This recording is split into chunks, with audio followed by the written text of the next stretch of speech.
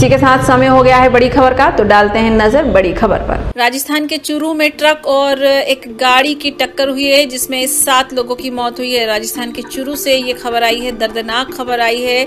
National highway पर truck और Fortuner गाड़ी की ज़बरदस्त भिड़ंत हुई है, जिसमें सात लोगों की मौत हो गई है। जानकारी के मुताबिक सोमवार की सुबह ये हादसा हुआ है, जिसमें से कहा जा रहा है कि गाड़ी में सवार लोग रोल साहब सर के सृजनगढ़ की ओर जा रहे थे। सूचना पर सालासार पुलिस वहाँ पहुँच गई है। घायलों को अस्पताल भेज दिया गया है। जो सात सब हैं, उन्हें अस्पताल भेजकर पोस्टमार्टम कराकर उन्हें शव गृह में रखा गया है।